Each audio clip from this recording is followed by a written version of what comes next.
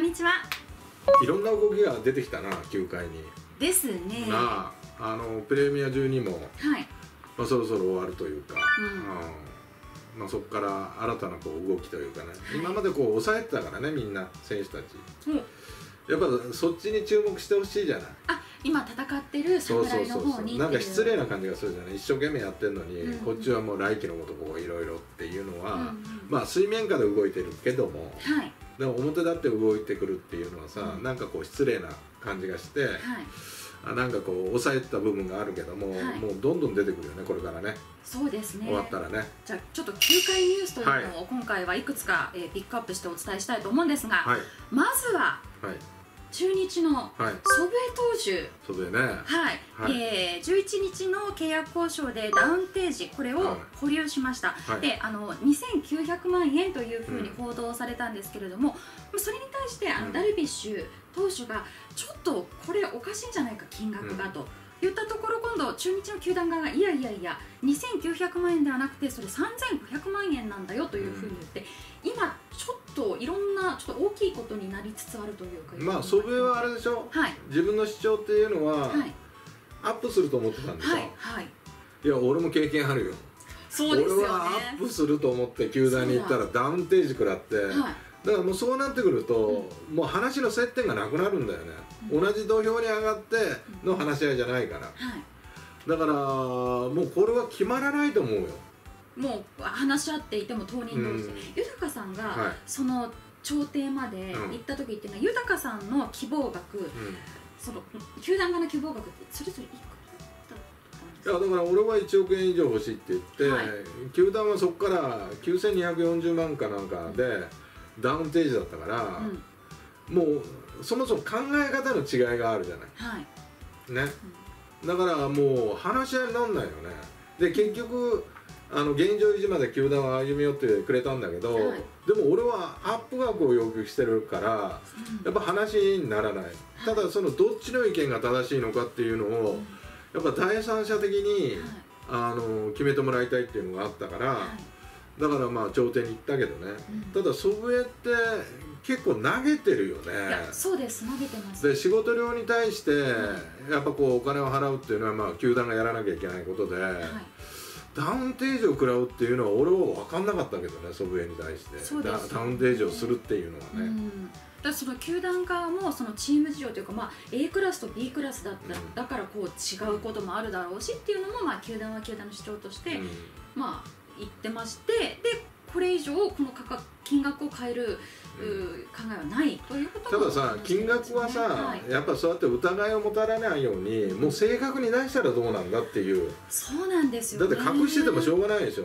これそもそもでもさ2900万ってなってて3500万って言ったらこれどどう？いやこれさ税務署が入るあそう入るよね。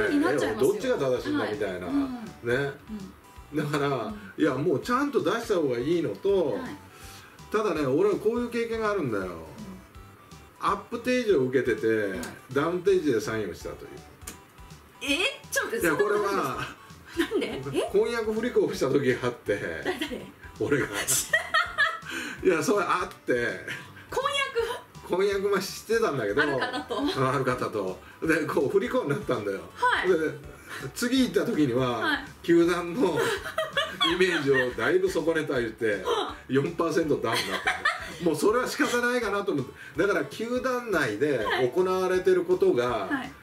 発表されてないけど何かあるのかもわからないしこれは推測で喋ることではないけどですね。もあの隠してる部分っていうのはあるのかもわからないよね、うんうんううん。ん、人間だからわからない。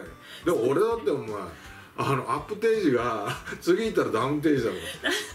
あ 球団の球団のイメージを損ねた。損ねたみたいその4%は損ねた分ってことなですよね。そうそうそう。だからもうもうこれはしか仕方ないなって。まあ球団あの初めてだけどねダウン食らったのはね。あそのその、うん。まあ、婚約不履行その時がね。いやだからあのーやっぱクリーンに、うん。まあしっかりあの金額も出してやった方が、うん。いや2900万円って聞くとさ、はい。あ安いなと思うしね。でも3500万っていうのが高いかっていうとそんなは高くないし、うん。で祖父江のこう数字とか活躍見てると、はい。いや上げてやってもいいんじゃないのっていうさやっぱりリリーフピッチャーって大変だよ、そうですよね、うん、やっぱブルペンで何回も作ったりとか、うん。だって流れを止めに行ったりだとかさ、はいする仕事だから相当なパワーがいるよ。そうですよね、うん。精神的にもそうだし。そうそうそう、うん。だからまあ本当にあの祖父江に言いたいことは、はい、納得するまで納得してやっぱサインをしろという。うん。じゃないと来シーズンに響く。これは、そうですよね、妥協しないというか。はい。本当に自分が気持ちが収まるところまであの頑張ってほしいなっていうふうに思うもしかするとその朝廷に行くことまでなりうるん、いやいやもうそれだったら人に任しちゃった方が、はい。例えばもう弁護士呼んでうん。あの話をしてもらうというね、うん。まあそういう形の方が俺はいいと思うけどね、そうですね、うん、あんまりこうこっちの口で喋っちゃうとさ、うん。球団と溝ができたりとか働きにくい環境があるしあのー中日って来年本当に強くなると俺は思ってるから、はいだからまあそういうところでごたつかないでほしいなっていうふうには思うけどね、ね。まあ球団もね。はい、はい、さあ続いてなんですが、はい、高城選手が古巣横浜に戻ってきます。あのーまずは、はい。あの DNA がね、うん。勇気を持ってい。大下選手をまた取ってくれたということに、ここの勇気にもう拍手だそうですね。うだやっぱり恥ずかしいよ。言えば。選手をまたっていやいらいないから出してるわけだかうん。ら、ね、欲しい選手を取ってるわけキャッチャー同士で、うん。でも高城がクビになった、ん。もう一回やれみたいな。うん。その男気というかそれにはやっぱこう拍手だし、はい。で高城も本当に嬉しかったと思うよ。そうですよね。やっぱね、ん。野球を続けるということは決めてても、はい。やっぱ横浜っていうのはやっぱドラフトしてくれて、うん。あのーなんていうのもう母親みたいなところに帰ってくるみたいな感じがあるから、はい。生みの母親みたいな。いやだからすごく高城も喜んでるし、うん。まあいいよね。でなんかクビになった時俺電話してさあその後、うん。あのトライアウト受けますとか、うん。なんとかって電話もらってはい「伊藤さんありがとうございます。動画でもね」って、うん。僕のこと言ってくれてって、うん。決まった途端にお前電話がないっていうのはどういうことなのかっていう話なんだよ。あれまあ私ってきてるもんかかってきてないんだよこの野郎みたいな。まあ今バタバタ忙しいのかな？いや新居忙しくないよもう。ほっとしてもうもう有頂天だよお豊さんの存在忘れてる。いうところがダメだっつうのよ。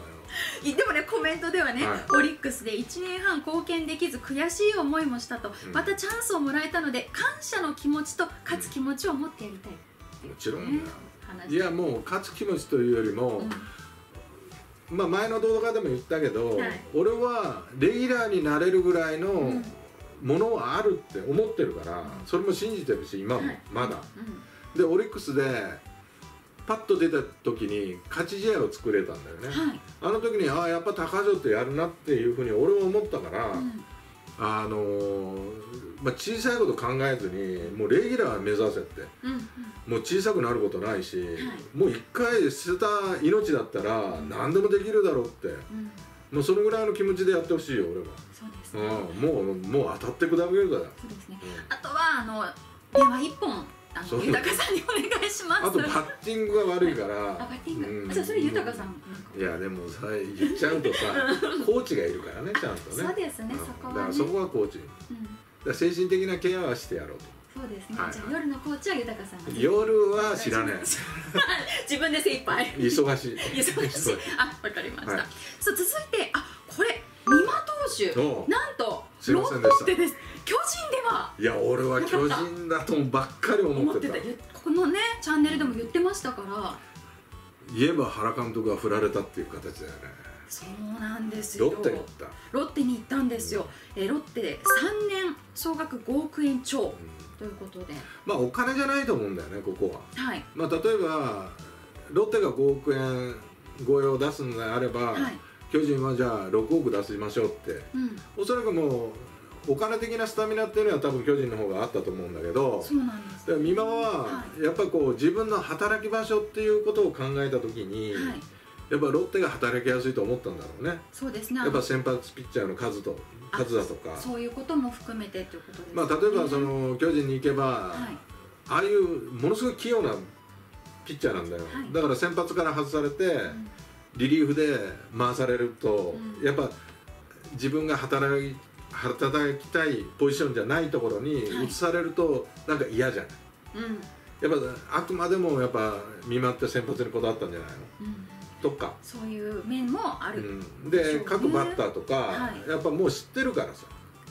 そうですね。同じパ・リーグでね、はい。働きやすいっていう、うん。新たな情報を入れなくてもいいという、はいでこれまあネットでの情報なんですが、はい。その3年の総額5億円超の条件というのはやっぱりロッテ、巨人ともそう差はなかったそうなんですね、ただロッテは交渉解禁以降12日の交渉まででまずは食事などで積極的にコミュニケーションを取り耳を傾けたということでその上でテーブルについたロッテの姿勢が最終的に上回ったのではないかみたいなことも。まあロッテの誠意の方が伝わったというなことだよね。るかもしれないですね、巨人忙しいからねあっちもこっちも取りに行ってるから。そうです。この時期そうですよね。うん。だから一人の人に集中してたら焼き間違えてこっちも失うみたいなさ。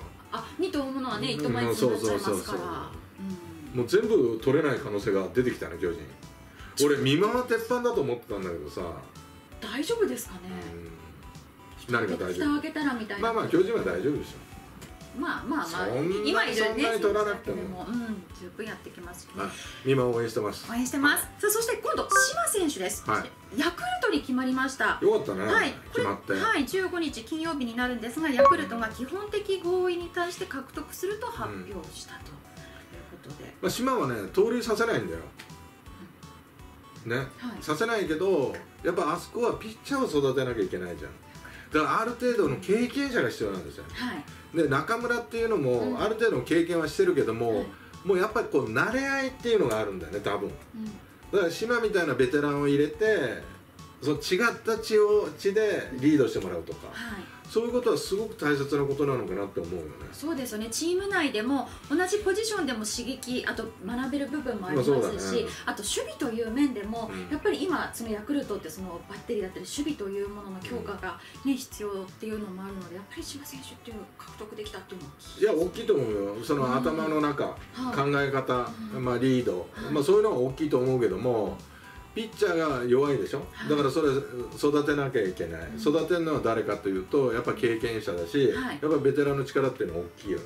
ただし、うん。ピッチャーが弱いのに盗塁をさせなかったらバンバン走ってこられるということだよ。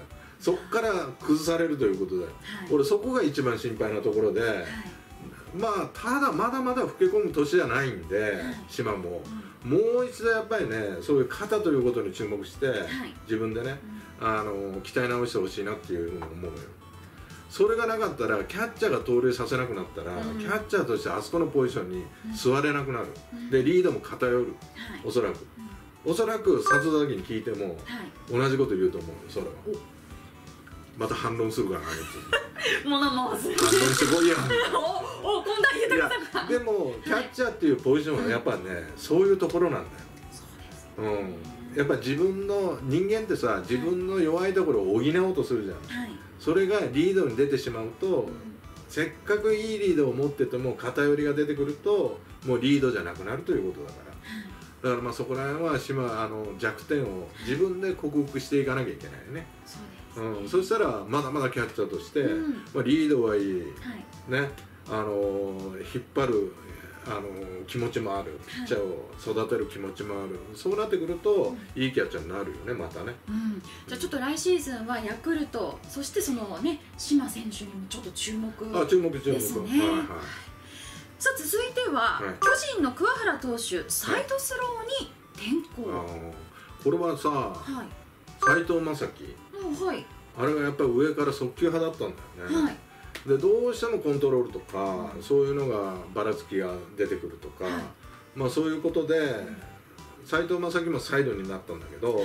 桑原も球速はあるんだけどどっちらかるというね、うん。そういう癖があって、はい。でまあ器用そうなピッチャーだよね、まあ実際やってないからちょっとわからないんだけども、はい。まあサイドに変えてで巨人っていうのは、はい結構オーソドオーソドックスなピッチャーが多いんだよ。はい。割と似てるピッチャーが多い。右も左も。投げ方が。はい。だからここで変則を加えるっていうのは一軍により近くなるよね、そうですね、うん。あこれは一軍への何かこう足がかりにいやステップになると思うし、やっぱドラフト1位で取ってるけど、はい。やっぱ大胆な改革だよね、いやそうですよね、うん、でもこの前メキシコメキシコ戦で最後に、あのオールジャパンに投げてきたいメキシコのサイドのピッチャーいるんだけど、はい。あれ打てないよね出てきてもいや変則だし、うん。球が変則で横からだから、ものすごく変化が変化をするんだよ。はい。だからああいうピッチャーになってくれると、ん。ものすごいいい戦力になると思う桑原が。そうですよね。さらにその巨人の投手陣の厚みっていうのがまた出てきますよね。まあそうだね、まあ、それとやっぱり自分の生きる道をどこで見つけるかっていうのがさ、上から投げててもダメだと思ったら、はい。もうね下から投げるとか、うん。横から投げるもうこの挑戦しかないわけよ。はい、いつまでたっても同じような投げ方しかできない、うん。もうこれでダメだったらって言うんじゃなくてやっぱこう探す自分のところうん。もうダメだったら左で投げてみるぐらいの、うん。もう気持ちがないと生き残れない。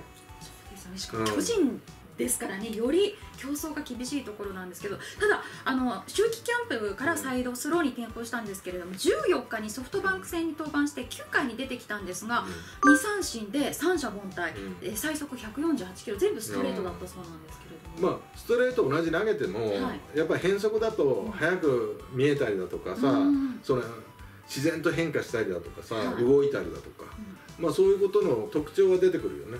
でも。結果こうやって出てくるといやいやまだまだ、まあですけど。お前い3人にしか投げてないじゃん。お前3人を全体的に考えんなよ。でもほら本人として3人でおなんか俺手応え掴んだかもってなんかた思えそう。だ自分が納得しないとやっぱりやんないよやっぱ、上から投げてて、うん。サイドスローに転向ってすぐそそんなできるあのね腰の使い方があるんだよね。腰がはい。例えば投げる時にこう上から下に押し込める腰を持ってる人ははい。上からでもいいんだよ。はい。ただ上から投げてるけどこう横にしか回転できない人は、はい。腰と上のバランスが悪いんだよ。でこれがまあアンダースローっていうのは下に沈んで上に持っていくじゃん、はい。で回転するじゃん、はい。こういうね人によって特徴があるんだよ。だから桑原をこう専門的に、まあ、ピッチングコーチとか見てるよね、はい。腰の動きがやっぱ横だったんじゃないのかなっていうような気がする横の回転の方が綺麗に回転するという。はい、こう縦の回転が苦手だとかうんだから上と下のバランスが悪くてコントロールが悪くなるとか。うん。そういうことの特徴を掴んでのことだと思うよ。それは根拠がなくてやんないよ。そうですよね、こういう使い方しかできない腰を持っててサイドスローなんか絶対ありえないから。うんうん、だから横で投げてみろって言ったら綺麗に横に回転する。これはやっぱ見てるんだと思うよ。コーチ陣の。コーチ陣の。うん。やっぱプロだからさ見てるのも、ね、だからまあそれぞれね、まあはい。ニュースをお伝えしたけどまだあんの？あ向こまだ？うはそうです。まあ皆さん応援してますよ。そうですね。はい。それぞれねまあいいことがあるように。うん。まあそれねちょっとでも上が上げてくれたらな来季に勢いがつくんだけどな、であのチームとしても祖父江投手としてもねそう。そうだな。で中日クラスもし優勝っていうことももちろん十分これで出てきますからね。あとは幸せな話ばっかりだったもんね。高城美馬全部です島まあ新たな新鮮な気持ちでできるそう新たまあ桑原もそうだよいやそうです。ね投げ方変えて新鮮だって、うん。もうどんよりしてんのはあの祖父江。祖父江だけだもん。でもあります？他にこのこの時期球界ニュースでちょっとどんよりするようなのっていやあるよ。これから出てくるから、ね、じゃあこのチャンネルでも一つ一つ取り上げていきます。そうです。はい。はい